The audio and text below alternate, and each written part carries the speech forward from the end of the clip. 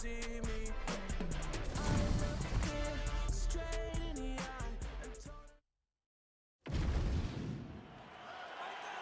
ready to fight? You ready? Round one. Opens with the left hand and lands flush. Real sneaky body kick. The left punch is true, now the right hand. Another blistering combination there, really starting to do a nice job stringing the shots together. And you can see the damage in his opponent's